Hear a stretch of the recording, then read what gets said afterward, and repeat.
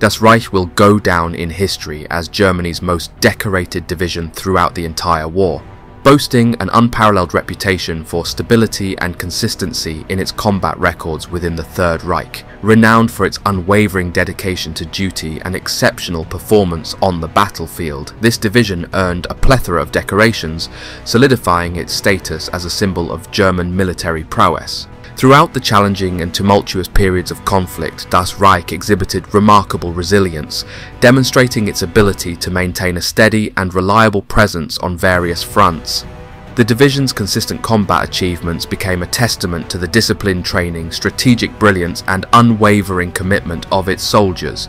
Not only did Das Reich accumulate a remarkable number of individual and unit commendations, but it also consistently played a pivotal role in critical battles and campaigns, earning the respect of both allies and adversaries alike. Its soldiers became synonymous with courage, tenacity and a relentless pursuit of victory. As the war unfolded, Das Reich's reputation continued to soar, with its commanders and soldiers proving their mettle in diverse and challenging environments. This division became a symbol of the Third Reich's military might, showcasing the formidable capabilities and determination that characterized Germany's armed forces during this tumultuous period. Adolf Hitler made a strategic decision that would significantly shape the course of the Waffen-SS. He placed two key units, the Leibstandarte SS Adolf Hitler LSSAH, later renamed the SS Division Leibstandarte and the SS Verfügungstruppe, under the operational command of the High Command of the German Army. This move was a reflection of Hitler's desire to consolidate power and create a unified front within the German military. However, the effectiveness of the SSVT during the subsequent invasion of Poland became a subject of scrutiny. Doubts arose regarding their combat capabilities, prompting discussions on the role and structure of the Waffen-SS. Heinrich Himmler, a prominent figure within the SS, passionately advocated for the autonomy of the SS-VT, arguing that it should fight in its own formations under its own commanders. In contrast, the OKW, the German Armed Forces High Command, pushed for the complete disbandment of the SSVT, questioning its overall contribution to military objectives. Caught in the middle of conflicting opinions, Hitler faced a delicate dilemma. Unwilling to upset either the established military hierarchy or Heinrich Himmler, who wielded significant influence, Hitler opted for a compromise. He issued a directive that allowed the SSVT to form its own divisions, but with a crucial caveat. These divisions would operate under the command of the German army. This decision sought to strike a balance between maintaining unity within the German military and appeasing the ambitions of the SS. As as the SSVT transitioned into forming its own divisions, one notable division that emerged during this period was the Der Führer Regiment or the SS Das Reich. This division, part of the Waffen-SS, would go on to play a significant role in various campaigns. Renowned for its elite status, Das Reich became emblematic of the formidable but controversial nature of the Waffen-SS within the broader context of World War II.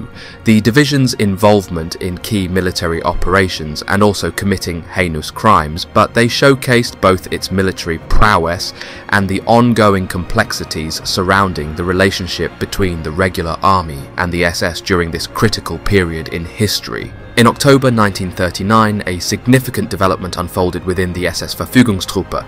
The regiments Deutschland, Germania and Der Führer were consolidated to form the SS Verfügungsdivision, with one of the most notable German commanders, Paul Hausser. Hausser, born in Brandenburg an der Havel to a Prussian military family, had a significant military upbringing with his father, Kurt Hausser, serving as a major in the Imperial German Army. Paul Hausser commenced his military journey in 1892, attending the cadet school in Köslin until 1896. Subsequently, he pursued further education at the Cadet Academy Berlin-Lichterfelde, successfully graduating in 1899. Upon receiving his commission as a lieutenant on March 20, 1899, Hausser was stationed at Ostrowo in Posen with Infantry Regiment 155. His dedication and skills were evident as he assumed the role of adjutant for the regiment's 2nd Battalion on October 1, 1903, serving in this capacity for five years until October 1908. Recognized for his military prowess, Hausser enrolled in the Prussian Military Academy in Berlin in October 1908, completing his studies and graduating on July 21, 1911. Throughout the First World War and beyond, from 1912 onward, he held various general staff assignments contributing to the significantly downsized post-war German army, known as the Reichswehr, where he attained the rank of colonel by 1927. Hausser's extensive military background and strategic contributions marked his notable career in service to Germany. On February 1, 1931, Hausser achieved the rank of Major General, marking a significant milestone in his military career. Following this accomplishment, he decided to retire from the Reichswehr on January 31, 1932, holding the distinguished rank of Lieutenant General at the time of his departure. Transitioning into civilian life, Hausser took an active role in the Stahlhelm organization, a right-wing group composed of World War I veterans. In 1933, he assumed leadership as the head of its Brandenburg-Berlin chapter. However, as political landscapes evolved, Stahlhelm merged with the SA Sturmabteilung, and subsequently, with the decline of the SA, it became integrated into the SS Schutzstaffel. In November 1934, Hausser underwent a significant shift in his military allegiance, transferring to the SS Verfügungstruppe and being assigned to SS Führerschule Braunschweig. His involvement in the SS continued to progress as in 1935 he assumed the role of Inspector of SS Junkerschule and earned a promotion to the rank of Brigadeführer in 1936. These developments marked a notable phase in Hausser's post-military career as he embraced new responsibilities within the SS organisation. Following these organisational changes in October 1939, the SSVT and the LSSAH actively engaged in intensive combat training.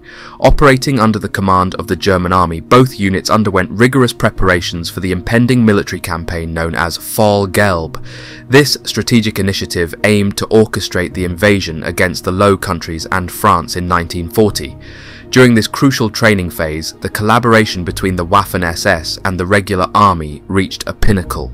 The joint efforts under army commands were a testament to the growing integration of the SSVT and the LSSAH into broader military strategies. The meticulous preparation and coordination were essential to ensure the seamless cooperation of these elite SS units alongside the German army during the upcoming large-scale offensive. The involvement of the SSVT and the LSSAH in combat training marked a pivotal period in their operational history. The rigorous exercises and maneuvers undertaken by the SSVT, particularly in its formative years, played a foundational role in refining the combat capabilities of this elite paramilitary organization. The emphasis on physical fitness, marksmanship, tactical proficiency, and ideological commitment within the SSVT's training regimens laid the groundwork for the creation of a highly disciplined and skilled fighting force.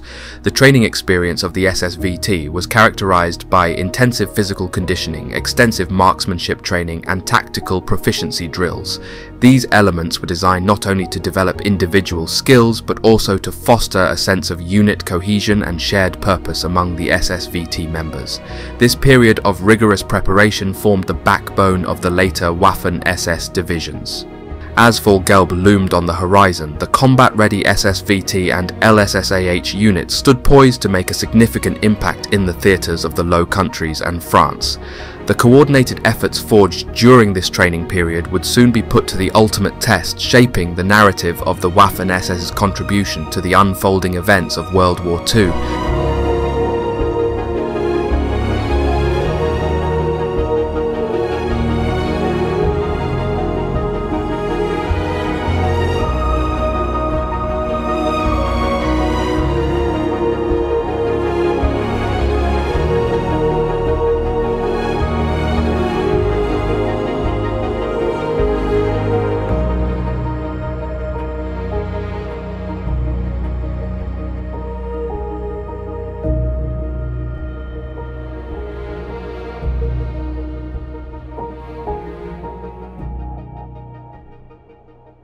In May 1940, the Der Führer Regiment undertook a pivotal role in the unfolding events near the Dutch border. As the division bided its time in Munster, anticipating the order to invade the Netherlands. The Der Führer regiment was strategically detached and relocated closer to the Dutch frontier.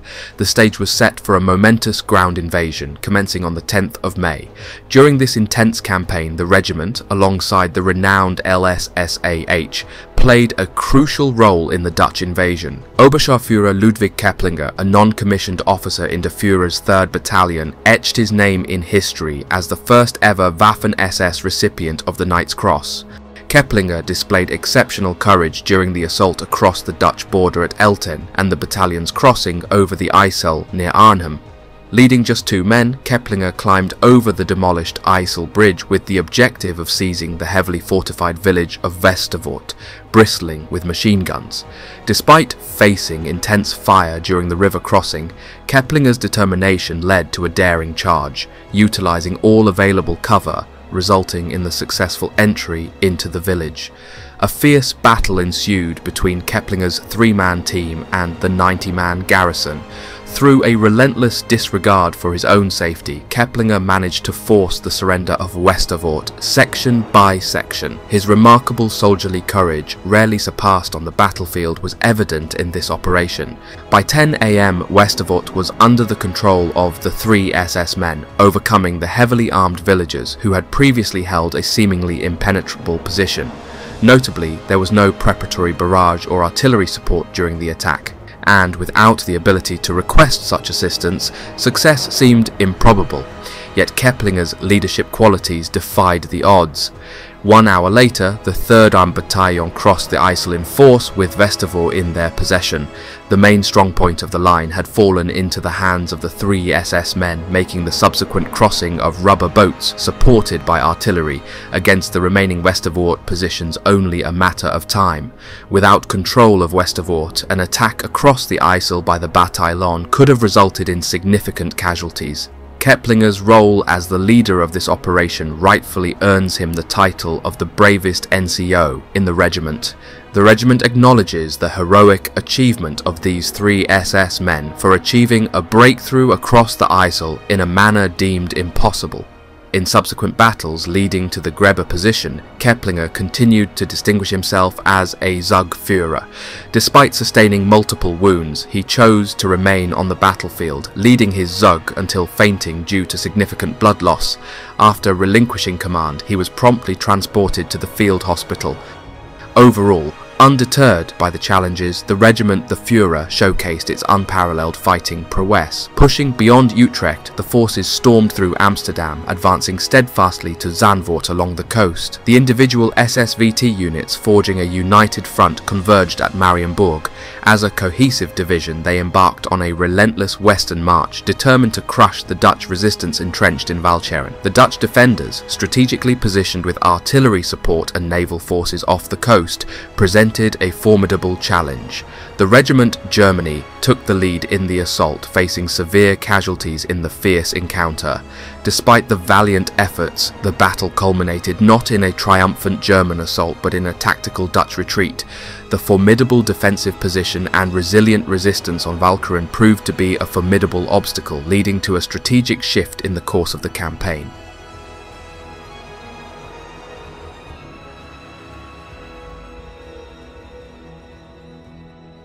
As a result, the SS Der Führer or Das Reich demonstrated exceptional performance during its inaugural operation in the Netherlands.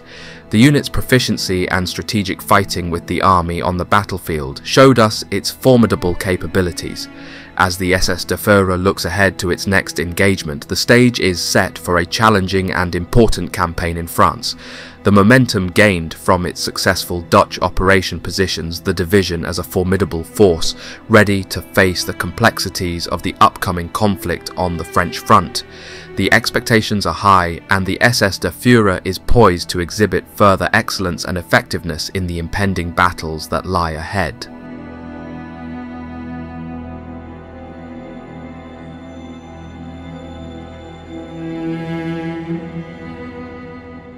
On the fateful day of May 22, 1940, the SSVT division embarked on a critical mission, surging towards the strategic destination of Calais.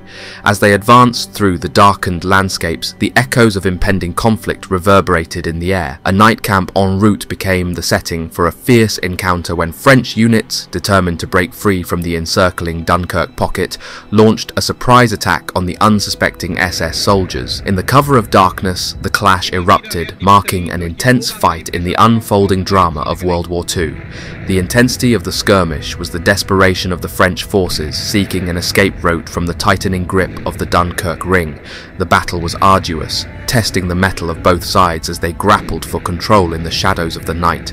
Undeterred by the unexpected assault, the SSVT division fought on. Despite the ferocity of the French offensive, the disciplined Das Reich soldiers stood their ground, turning the tide of the confrontation.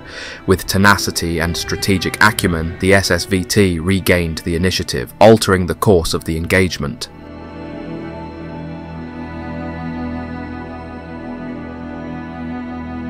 On May 24th, the renowned Leibstandarte Division, in conjunction with the SSVT Division aka Das Reich, assumed a critical role in the defence and containment strategy around Dunkirk. Their mission was clear, to secure the perimeter and diminish the size of the pocket enveloping the besieged British Expeditionary Force and French troops. During this crucial operation, a daring patrol from the SSVT division undertook the perilous crossing of the canal at Saint-Venant, only to face the formidable resistance of British armour. The initial attempt resulted in the destruction of the SSVT patrol, highlighting the difficult challenge posed by the well-equipped British forces. Undeterred by the setback, the SSVT division swiftly mobilized a larger force to cross the canal, successfully establishing a strategic bridgehead at Saint-Venant, positioned approximately 30 miles from the besieged Dunkirk. This bold maneuver not only showcased the division's adaptability and resilience, but also marked a significant step in the broader effort to contain and control the situation around Dunkirk. The creation of the bridgehead at Saint-Venant became a focal point in the complex chess game unfolding in the Dunkirk theatre. It demonstrated the SSVT division's ability to adapt to changing circumstances and press forward in the face of adversity. The stage was set for further engagements, shaping the course of events events in this critical chapter of the fight for France. The narrative unfolded rapidly on the subsequent day as British forces launched a counter-offensive against Saint-Venant, compelling the SSVT division to strategically retreat and yield ground in the face of the resolute opposition. The ebb and flow of the battle highlighted the dynamic nature of the conflict, with each side vying for control over the strategic location. However, the setback was but a momentary pause in the German advance. On May 26, the relentless momentum of the German forces resumed. By May 27, Regiment Deutschland, a formidable component of the SSVT division, had arrived at the Allied defensive line situated along the Lys River in Merville. They swiftly carved a bridgehead across the river, securing a crucial foothold in the ongoing campaign. The strategic importance of this achievement was further emphasized as Regiment Deutschland awaited the arrival of the SS Division Totenkopf. This collaboration aimed to fortify their position and cover the flank, creating a formidable united front against the Allied forces. The synchronized efforts of these elite SS divisions show the first coordinated and strategic approach employed by the German forces during this pivotal phase of the war. But things were not going to be this smooth. A critical juncture emerged when a unit of British tanks, swift and formidable, arrived first on the scene. Their advance posed a severe threat to the SSVT division's position, breaching the defences and penetrating deep into their lines. In the face of this sudden and perilous development, the SSVT managed to hold the ground, steadfastly holding the positions against the onslaught of British tank forces. The intensity of the struggle reached a very close call when the British tanks advanced to within a mere 15 feet of Commander Felix Steiner's position. The situation teetered on the brink of disaster for the SSVT until the timely intervention of the Totenkopf Panzerjäger platoon.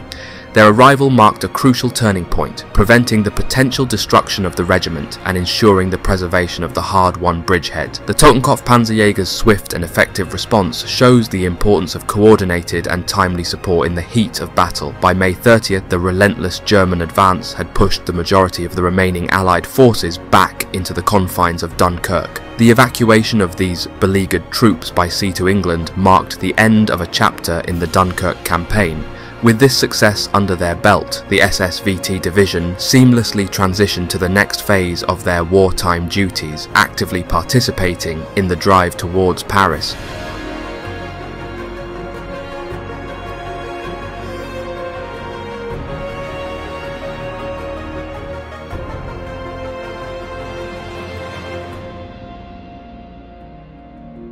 On June 1st, recognising the need to regroup and prepare for the second phase of the campaign, the SSVT division was withdrawn from the front line. This brief respite allowed the division to reorganise its forces and gear up for the impending second phase of the Battle of France.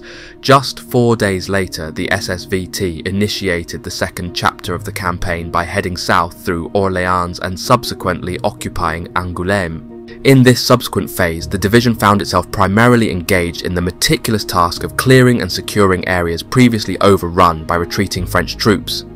This operation continued until the armistice was declared on June 25th. Remarkably, the SS soldiers exhibited both efficiency and great coordination, capturing over 30,000 prisoners at the cost of fewer than 35 men lost in action. The valour and effectiveness displayed by the SSVT division during this phase of the Battle of France did not go unnoticed. Several members of the SS Verfügungs division were duly honoured with the Knight's Cross. In June 1940, the SSVT division underwent a strategic relocation to occupied Holland, where it remained for several months in anticipation of Operation Sea Lion, the ambitious plan for the invasion of Great Britain. However, as Operation Sea Lion was indefinitely postponed, the division shifted back to France, marking a period of transition and adaptation. During this interlude, the division experienced the departure of some of its most seasoned members, who played a crucial role in forming the core of the newly established SS Wiking division. This transfer of expertise highlighted the dynamic nature of military units during this phase. In December 1940, a significant reorganisation took place as the entire Germania Regiment was withdrawn. In its stead, the SS Totenkopf Infantry Regiment 11 assumed the role, signalling a restructuring within the division's ranks. By the end of the month, a notable transformation was formalised as the division underwent an official renaming, becoming the SS Division Reich. Or Das Reich, this renaming reflected the evolving nature of the division's mission and its symbolic alignment with the broader goals of the German war effort.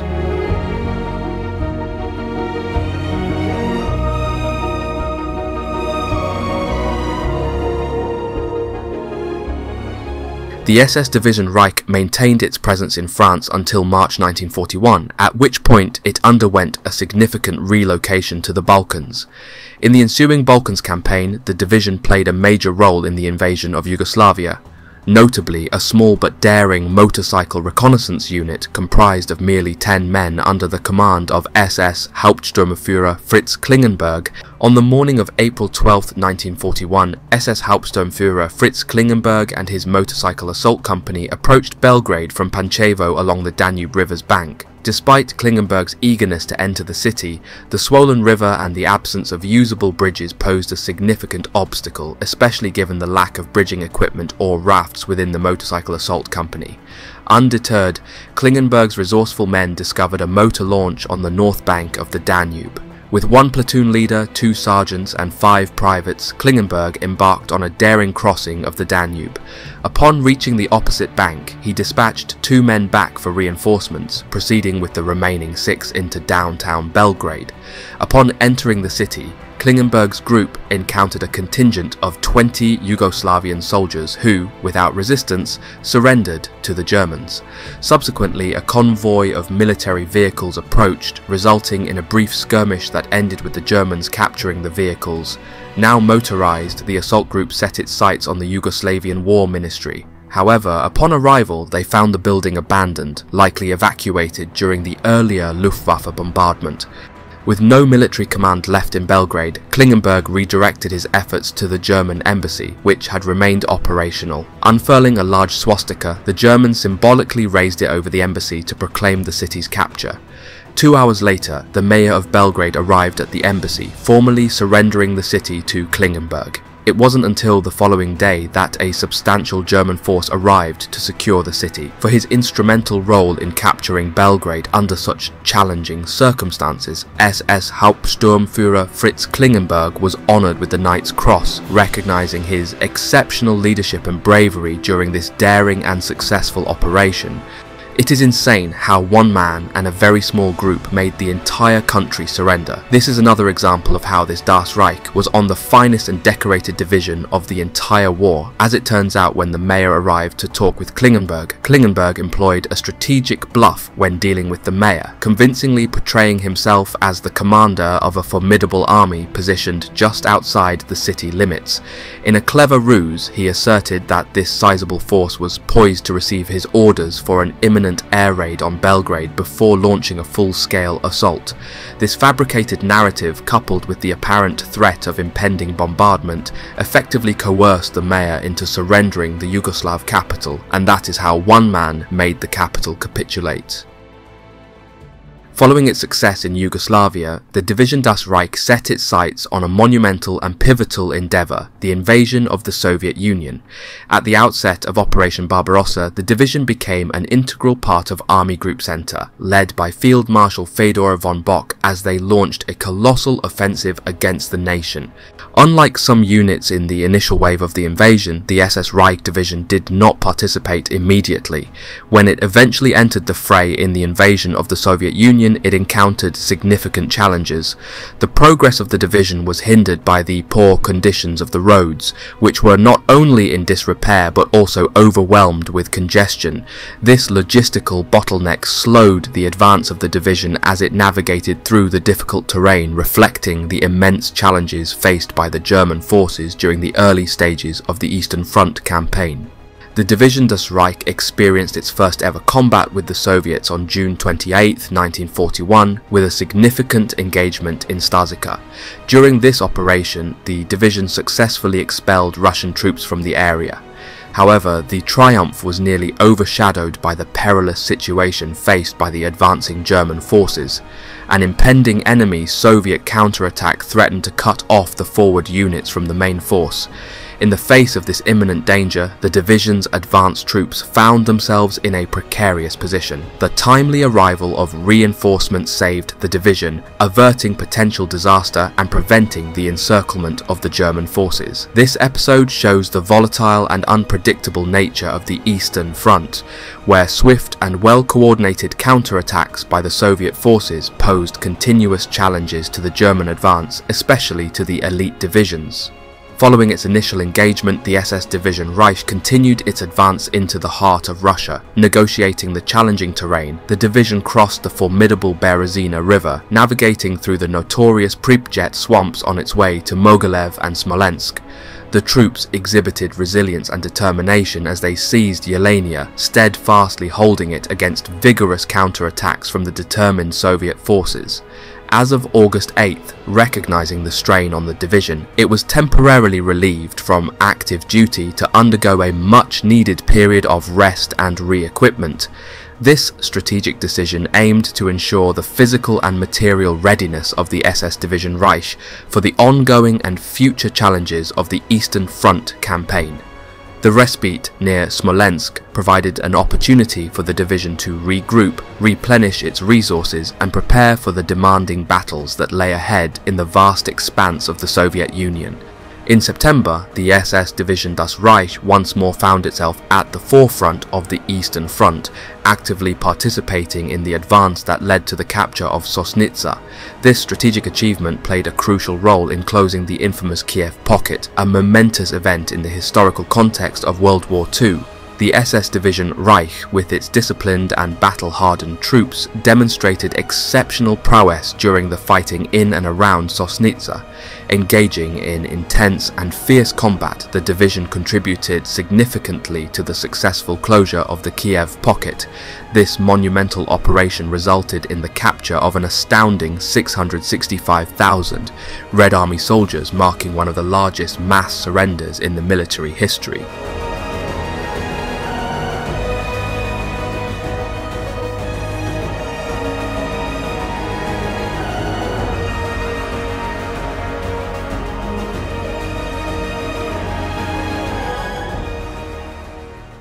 After a brief respite and the reinforcement of losses, the SS Division Reich played a substantial role in Operation Typhoon, the ambitious advance towards Moscow. To the German High Command, this war could be over very soon. A strike on the capital was now imminent, commencing on October 19th. The division's involvement in this critical offensive marked a big moment in the Eastern Front campaign during World War II. The division faced significant challenges during Operation Typhoon, particularly in the aftermath of the capture of Gzhatsk along the railway line to Moscow. The strategic importance of this location demanded a robust defense against fierce and relentless counterattacks from the determined Soviet forces.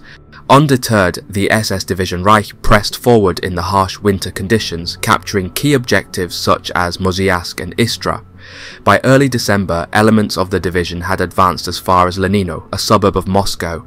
From this vantage point, the soldiers beheld the unmistakable dome-shaped roofs of the Kremlin, symbolizing the proximity of their forces to the heart of the Soviet capital. However, the formidable force of General Winter had now manifested itself in full strength, posing a massive challenge for the German forces. Despite the considerable losses suffered by the SS Division Das Reich and the exhaustion of the German offensive's momentum, the undying determination of the Red Army soldiers to defend their capital, combined with the harsh winter conditions, prompted a shift from the German advance to a defensive stance. Moscow, seemingly within grasp, remained elusive as the German troops were compelled to transition from the offensive. Units of the SS Division Reich found themselves approximately 10 miles from the city centre itself, their advance halted by the combined impact of the harsh winter and fierce resistance from the determined Soviet defenders. The toll on the division was heavy, with only 40% of its original combat strength said to have survived at that point heavy battles underway. The Soviets were smashing the lines so hard that the Germans had to retreat. Das Reich suffered, and this was the first time Das Reich would be fighting in house to house while holding villages around the Moscow sector. This marked a very important turning point in the Eastern Front campaign, with Moscow symbolizing the ultimate objective that remained just out of reach. The brutal winter conditions, coupled with the resilience of the Red Army, had shifted the dynamics of the conflict, setting the stage for a protracted and challenging defensive struggle for the German forces on the Eastern Front. The debilitated SS Division Reich found itself vulnerable to intense Russian assaults as the Red Army initiated its winter counter-offensive. The Führer Regiment, a once formidable and elite unit, now comprised fewer than 50 frontline soldiers. Despite their exhaustion, these resilient soldiers clung to the ground under the relentless pressure of Russian attacks. Eventually the division, barely holding its ground, had no choice but to retreat to the region of Gzhatsk and Vyazma. The division mounted counter-attacks in January and March 1942. Launching these operations from north of Sychevka, the division aimed to regain control and close the gap southwest of the city of Varzhev. This marked a period of active engagement as the division sought to reclaim lost ground and confront the challenges posed by the harsh Russian winter and the formidable Red Army.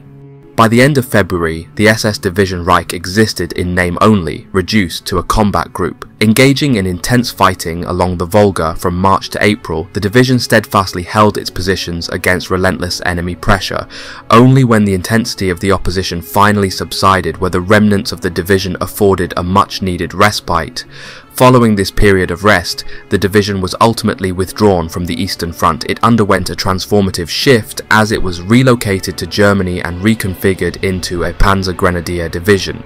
Despite this reclassification, the division retained a structure and equipment that closely resembled a fully fledged tank division.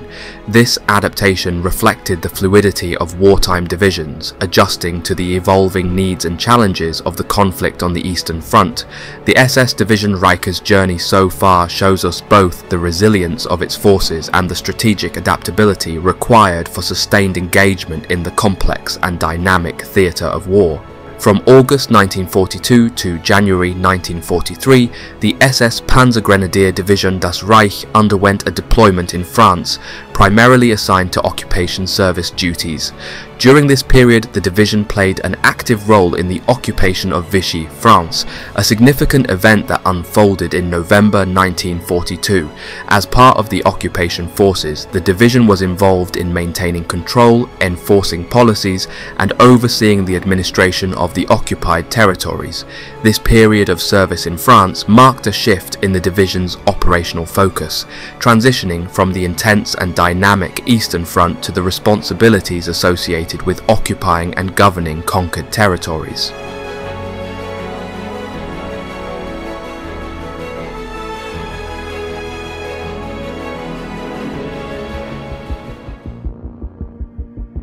After undergoing reorganization into the SS Panzergrenadier Division Das Reich, essentially transforming into a fully fledged panzer division, the unit was redeployed to the Eastern Front.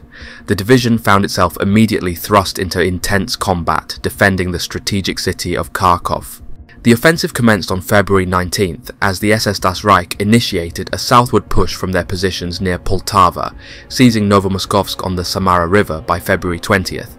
Swiftly advancing, they approached Pavlograd the next day, posing a threat to the Soviet flank and effectively isolating a substantial number of Soviet troops south of the Samara. The division not only decimated additional Soviet units but also forced the remaining forces to retreat northward, crossing the Samara River. Simultaneously, the SS Totenkopf, newly deployed to the front, shadowed the SS Das Reich along a parallel course to the left, maintaining a position north of the Samara. On February 23rd, both divisions executed a coordinated eastward turn. Facing dwindling fuel and supplies, the Soviet forces persisted in tenacious defense, although some infantry units were holding on precariously. SS Das Reich, engaging in intense street fighting, secured Lozovaya on February 26th. Two days later, the 17th Panzer Division captured Petrovskoye. In a desperate attempt, the remnants of Mobile Group Popov and units of the 1st Guards Army made a stand against the 1 Panzer Army near Barvenkovo, resulting in the Soviet forces being decisively defeated. The strategic plan unfolded as SS Das Reich attacked from the west, SS Leibstandarte advanced from the north, and SS Totenkopf screened the northwest. Kampfgruppes were formed, each assigned a specific road for their assault. Kampfgruppe Harmel encountered fierce resistance along its route but managed to reach the Kharkov suburb of Zalutino by 1600. At this point, they faced a significant obstacle, an anti-tank ditch covered by anti-tank guns and artillery. Meanwhile, the rest of Das Reich, situated to the south of Kharkov, severed the Soviets from the Merefa Road. In the tumultuous Battle of Kharkov, the combat unfolded with unparalleled intensity, each street witnessing a brutal and bloody struggle. Advancing methodically, Das Reich gained a decisive upper hand, systematically overcoming the Soviet defences. The once resilient Soviet line succumbed, paving the way for a relentless onslaught by Das Reich forces. Amidst the harsh and tumultuous terrain, the entire cityscape was shrouded in smoke, reflecting the ferocity of the conflict. Das Reich's tanks spearheaded the assault with grenadiers methodically clearing Soviet positions, house by house it was intense. Amidst the battle, Hausser, receiving orders from Hoth, faced a critical decision. Although directed to detach Das Reich from the Kharkov assault and redirect the division northeast, Hausser argued that the risk of breaking off mid-battle was too high and delays in the heavily forested areas to the north were too prolonged. Instead, he opted to send a detachment from Totenkopf to cover the northeast. By late afternoon, the entirety of Das Reich had departed Kharkov for the north, with only SS Sturmbannführer Bissinger's IE battalion of SS Panzer Grenadier Regiment Deutschland persisting in sweeping through the southwest of the city, encountering minimal resistance. While there remained substantial cleanup operations, the German offensive persisted. On March 15th, fighting erupted in the factory district southeast of the city, and Kampfgruppe Kumm of Das Reich assaulted the massive tractor factory complex from the south, successfully clearing it of resistance by March 16th.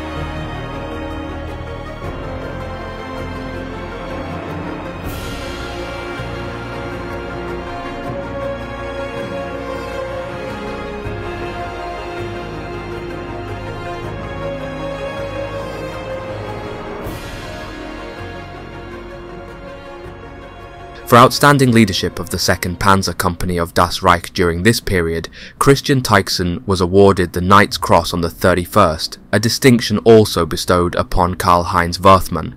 In April, Osthoff Karl-Heinz Lorenz, recognized with the German Cross in gold as the commander of the 2nd Panzer Company, joined the staff of the 2nd Panzer Abteilung. Simultaneously, Stuff Herbert Zimmermann assumed command of the Tiger Company.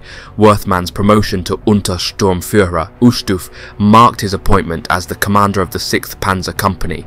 Meanwhile, Klokowski transitioned to the 7th Panzer Company, taking on the role of its third platoon leader. This triumph marked a pivotal moment for the Waffen-SS, achieving even greater significance with the successful recapture of Belgorod. The satisfaction derived from this accomplishment was heightened by its distinction as Hitler's most substantial victory in quite some time. Notably, this triumph served as the catalyst for the subsequent and swift expansion of the Waffen-SS, witnessing the establishment of numerous new divisions that would further bolster their military prowess. The recapture of Belgorod not only secured a strategic stronghold, but also solidified the Waffen-SS's influence, setting the stage for an era of remarkable growth and heightened operational capabilities. From April to the onset of July 1943, the soldiers of the Das Reich Division underwent a period of recovery before being thrust back into the intense theatre of the Battle of Kursk. Operating as a vital component of the SS-2 Tank Corps under the command of General Hoth's 4th Army, Das Reich executed a strategic invasion into the southern portion of the front bulge, effectively safeguarding the right flank of the Corps. However, the operational landscape proved challenging as torrential rains had transformed the roads into virtually impassable mud tracks. This adverse condition compelled the Panzer Grenadiers of Das Reich to forge ahead without crucial tank support, exposing them to the rigours of fierce close combat. Despite these obstacles, the strategic deployment of Stukas played a pivotal role in assisting Das Reich in achieving its initial operational objectives, particularly securing the town of Berezov and its commanding heights. This phase of the campaign highlighted the division's resilience and adaptability in the face of challenging environmental conditions as they navigated through muddy terrains and engaged in intense combat to fulfill their military objectives. Nevertheless, the resolve of Russian resistance intensified swiftly, subjecting the SS soldiers to artillery barrages and airstrikes from enemy aircraft. In the face of such staunch opposition, Das Reich pressed forward with remarkable progress. However, the division, particularly at Prokhorovka, faced a formidable Soviet counterattack that challenged their gains. Undeterred, Das Reich tenaciously held its ground against the adversary, fortified by the support of General von Richthofen's Ju-87 tank busters. Collaborating with fellow Waffen-SS divisions within the 2nd SS Tank Corps, they successfully neutralized over 300 enemy tanks. Despite overcoming the initial counterattack, Das Reich's advance persisted, culminating in their involvement in the renowned tank battle in the hills surrounding Prokhorovka on July 12th. Subsequent days witnessed a grueling attrition battle, with both sides grappling for supremacy but experiencing minimal gains in terrain. The toll on human lives and tanks was severe on both fronts, yet the Red Army's capacity to replace losses contrasted sharply with the Waffen-SS divisions, especially Das Reich, which did not enjoy such replenishment luxuries. In this protracted engagement, the Russian losses, though greater than those incurred by the Germans, were offset by their ability to replenish their forces. Conversely, the Waffen-SS divisions, including Das Reich, faced the grim reality of sustaining their operations with diminishing resources, illustrating the challenging dynamics of the battlefield after a hell of a fierce fight, Das Reich was ordered to fall back immediately.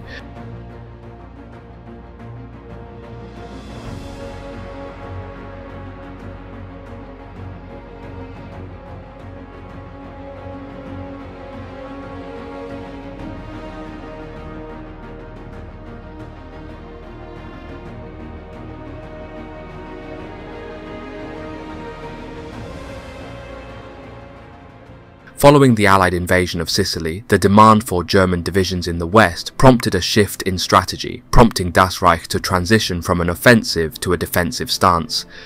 Throughout the latter half of 1943, the division found itself engaged in numerous intense battles along the Mius River, once again tasked with the defence of cities it had previously conquered. Battles were very hard, outnumbered most of the time, it was becoming a fight of attrition for Das Reich, but still performing very well. By mid-July, Das Reich relocated from the area west of Belgorod. Subsequent to this move, counterattacks and defensive struggles ensued along the Mius-Donez region, followed by engagements near Stepanoka and Marinoka in the vicinity of Stalino. The months of August and September 1943 witnessed a continuation of defensive operations, counter-attacks, and battles in the Kharkov and Poltava areas. The division's responsibilities extended to a strategic retreat over the Dnieper River, where they faced further counterattacks and defensive encounters in the Dnieper-Bo region. Over a span of five months, Das Reich experienced a relentless series of setbacks, reaching its nadir with the significant loss of Kiev in November. As 1943 drew to a close, the division found itself reduced to the strength of a combat group. Consequently, in an effort to regroup and re-equip, the initial elements of Das Reich were transported to France.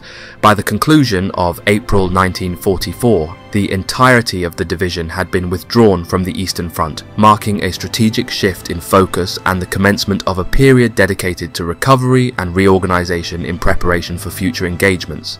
As of October 22, 1943, the division underwent a transformation, being redesignated as the 2nd SS Panzer Division Das Reich and subsequently re-equipped and replenished in southern France.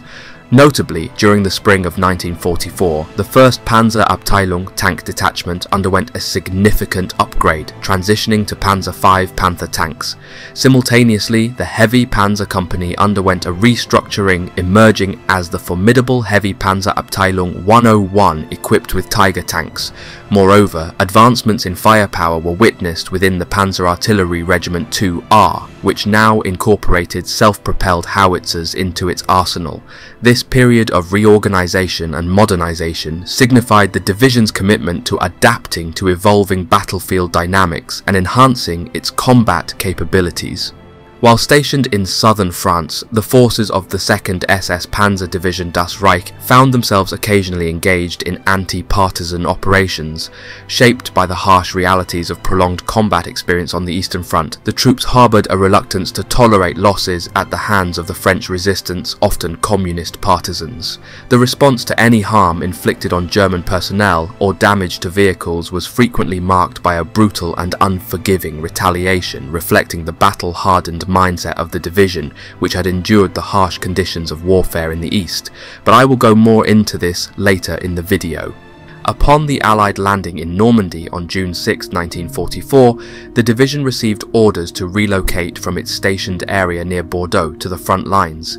This journey was marred by frequent acts of sabotage and raids, eliciting a furious response from the SS troops. In a grim reprisal for the death of approximately 40 German soldiers, 99 civilians in Tulle fell victim to execution by the enraged SS forces. The abduction of SS Sturmbannführer Helmut Kampfer, the commander of the 3rd Battalion of the Regiment Der Führer by the resistance marked a turning point. This event triggered the horrifying destruction of the tranquil town of Oradour-sur-Glane near Limoges, resulting in the ruthless murder of 640 civilians. Men, women and children bore the brunt of the brutality orchestrated by the 3rd Company of the 1st Battalion of the regiment under the leadership of SS Hauptsturmführer Kahn and the battalion commander SS Obersturmbannführer Otto Dickmann. The dark episode exemplifies the atrocities committed in the name of retaliation, leaving an indelible scar on the history of Oradour-sur-Glane, Upon reaching the invasion front on June 16-17, Das Reich encountered logistical challenges as parts of the division were still en route from the south. Consequently, the division found itself divided, with its units allocated to various army formations. Primarily, these units were actively engaged in combat against British forces in the Caen area, heavy battles were now underway, and from here we now see Das Reich fight once again against the British forces. In Normandy, a very notable moment unfolded where one of the division's most renowned soldiers achieved a historic triumph. SS Oberscharführer Ernst Barkmann, at the helm of a single Panzer V Panther, took up a strategic position at an intersection in Le Lorey. His vigilant watch paid off when a formidable column comprising at least 14 enemy tanks along with trucks emerged on the scene. In the ensuing battle, Barkmann and his crew displayed exceptional prowess, incapacitating eight Sherman tanks and demolishing several trucks including crucial fuel vehicles. Despite the intervention of Allied fighter bombers that inflicted damage on his tank during the combat, Barkmann held his ground, only retreating when he exhausted his ammunition. This remarkable feat stands as a testament to the skill of SS Oberscharführer Ernst Barkmann, putting his name into the annals of historical battle successes for the division. Das Reich Division found itself deeply embroiled in the fierce battles aimed at thwarting the breakout attempts of US troops from the invasion area around St. Lo. By mid-August, a significant number of German units became trapped within the Falaise pocket. The situation was dire.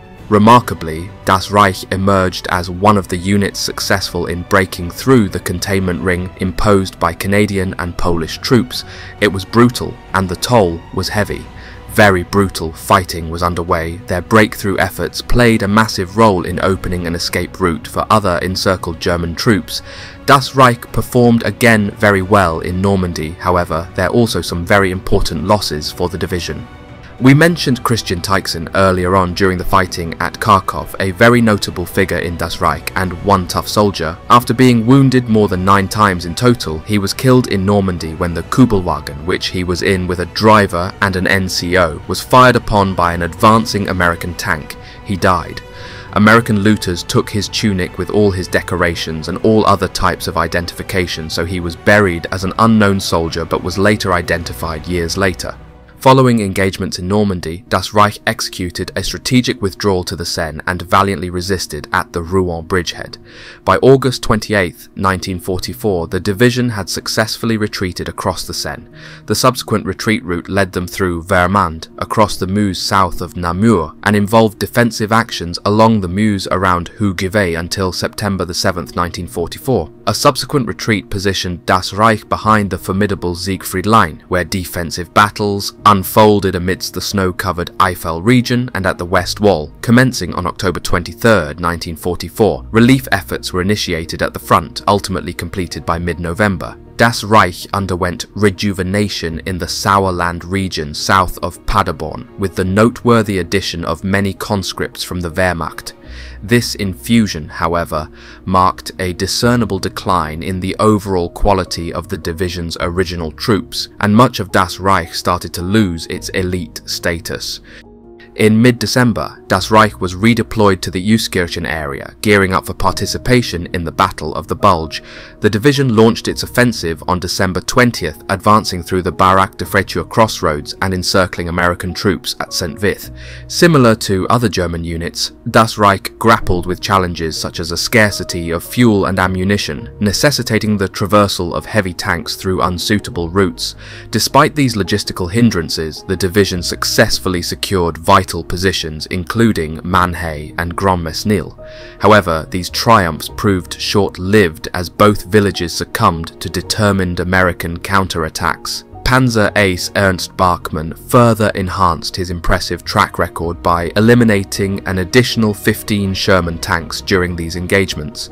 Notably, nine of these American tanks were simply abandoned by their crews when confronted by Barkmann's lone tank, highlighting the psychological impact of his formidable presence on the battlefield. Until January 17, 1945, Das Reich remained engaged in defensive operations in the Magosta and Marcour area. Subsequently, the division was relieved from frontline duties and withdrew behind the Siegfried Line, west wall to Koblenz. In this strategic relocation, the division underwent a brief period of refreshment and recovery, preparing for potential future engagements.